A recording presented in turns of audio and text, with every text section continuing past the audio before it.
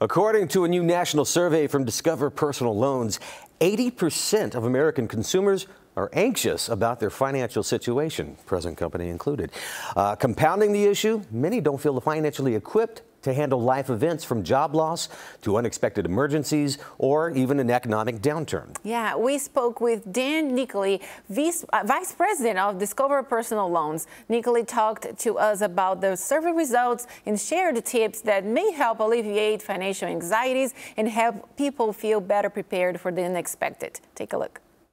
Hey, Dan, thanks for joining us this afternoon. We appreciate it.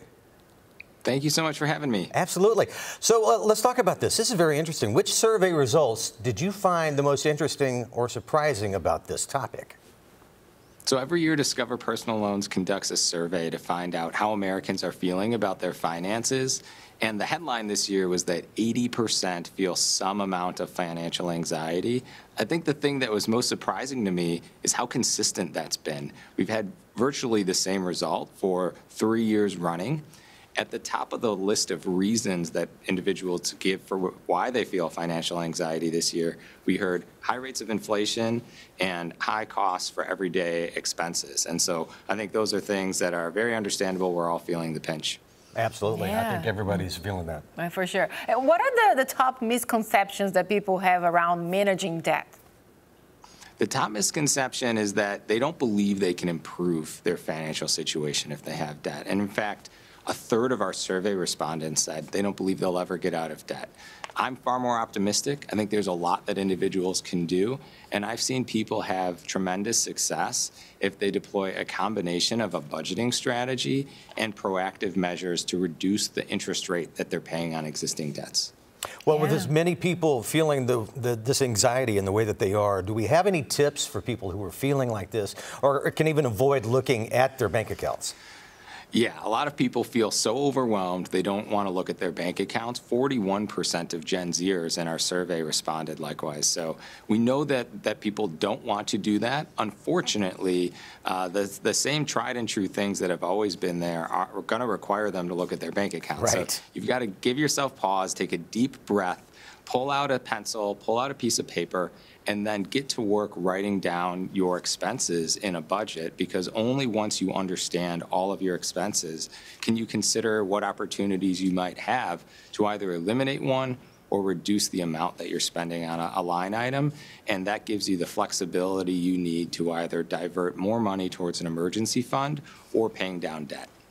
Very true. I like the points. Yeah, and what type of loans usually work best for big expenses, so whether they're planned or unplanned? So if you're in a situation where your emergency fund is depleted, uh, oftentimes, unfortunately, the emergencies come up in batches. So your water heater goes out right after you have a major medical expense. Um, a loan could be a, uh, an option for you. It's nice to have that as a, as a fallback. And so a personal loan is the type of loan that, that I would recommend because it gives you quick access to your funds.